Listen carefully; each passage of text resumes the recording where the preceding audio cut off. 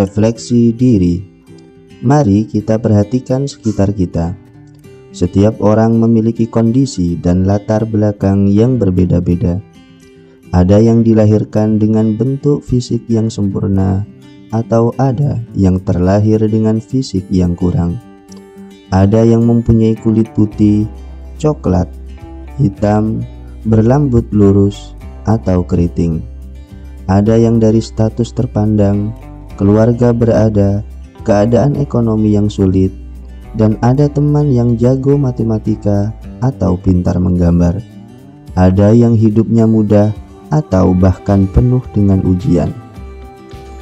Apakah kalian pernah merasa iri terhadap keadaan hidup orang lain? Atau bahkan merasa tidak terima dengan ketentuan Tuhan? Jika iya, maka kita perlu menguatkan iman kita terhadap kodok dan kodar Allah. Jawablah pertanyaan berikut pada akhir sesi. Apa perbedaan kodok dan kodar? Berikan contoh praktis dalam kehidupan sehari-hari.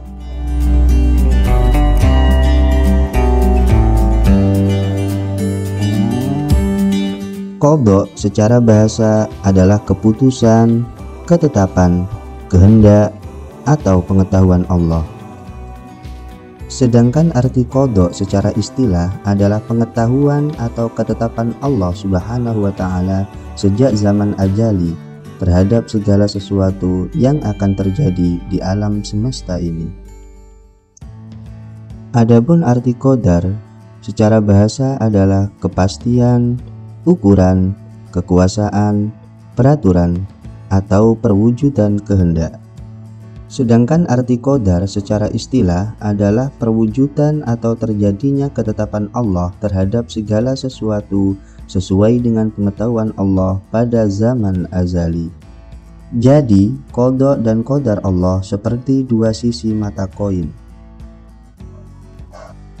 Kodok adalah rencana atau pengetahuan Allah Subhanahu wa Ta'ala, dan kodar adalah perwujudan atau terjadinya ilmu Allah itu sebagaimana firman Allah dalam Quran surat Al-Furqan ayat 2 الذي له ملك السماوات والأرض ولم يتخذ ولدا ولم يكن له شريك في الملك ولم يتخذ ولدا ولم يكن له شريك في الملك وخلق كل شيء فقدره تقديرا yang memiliki kerajaan langit dan bumi tidak mempunyai anak tidak ada sekutu baginya dalam kekuasaannya dan dia menciptakan segala sesuatu lalu menetapkan ukuran-ukurannya dengan tepat.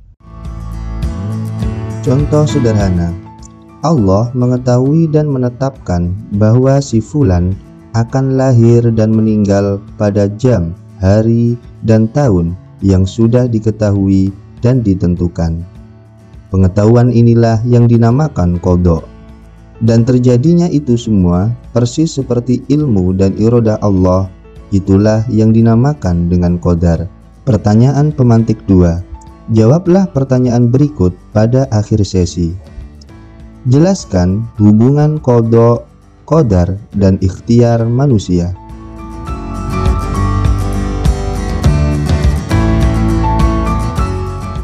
Perlu diketahui bahwa hal yang berhubungan dan bersumber dari manusia itu ada dua macam. Yang pertama, perkara yang tidak ada pilihan manusia. Allah mengatur dengan kehendaknya dan manusia tidak ada peluang untuk memilih.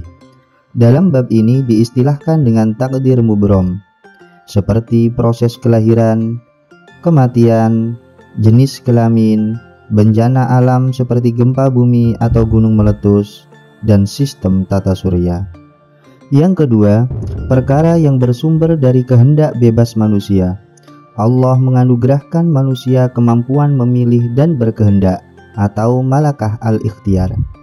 Hal ini diistilahkan dengan takdir mu'allak, seperti giat bekerja mencari nafkah atau malas, rajin belajar untuk meraih cita-cita atau memilih bermain, khusyuk dalam beribadah, atau malah memilih melakukan maksiat.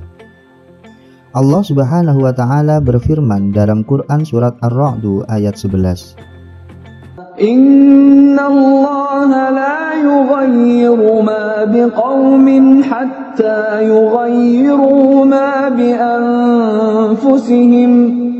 Sesungguhnya Allah tidak akan mengubah keadaan suatu kaum sebelum mereka mengubah keadaan diri mereka sendiri.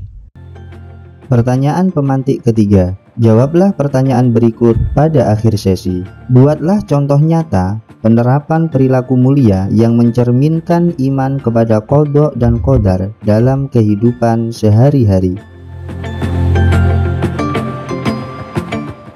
Zaid termasuk anak yang dilahirkan dalam keluarga yang kurang mampu. Ia meyakini bahwa kondisi tersebut tidak bisa dia rubah dan sesali. Namun, ia bertekad belajar dengan sungguh-sungguh demi tujuannya, yaitu menjadi pengusaha sukses. Dalam perjalanannya, dia bekerja dengan giat dan rajin, sehingga dibukakan pintu rizki oleh Allah. Akhirnya, saat ini Zaid menjadi pengusaha sukses, dermawan, dan banyak membantu orang lain. Zaid meyakini bahwa ada hal yang tidak bisa dirubah dari keadaannya, yaitu di mana dan bagaimana ia dilahirkan. Namun, dia juga meyakini ada hal yang bisa berubah dengan ikhtiarnya, yaitu belajar dengan rajin untuk memperoleh pengetahuan dan kemampuan. Bekerja dengan giat dan tekun untuk meraih cita-citanya menjadi pengusaha sukses dunia akhirat. Seseorang yang beriman kepada kodok dan kodar akan memperoleh banyak manfaat Berikut beberapa hikmah iman kepada kodok dan kodar.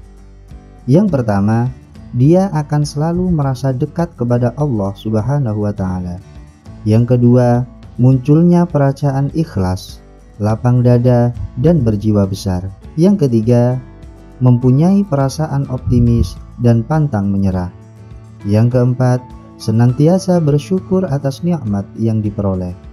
Yang kelima, bersabar atas ujian, dan yang keenam, selalu berbaik sangka terhadap Allah. Demikian sesi belajar kita kali ini. Semoga bermanfaat. Wallahu a'lam bishawab. Salam dan bahagia.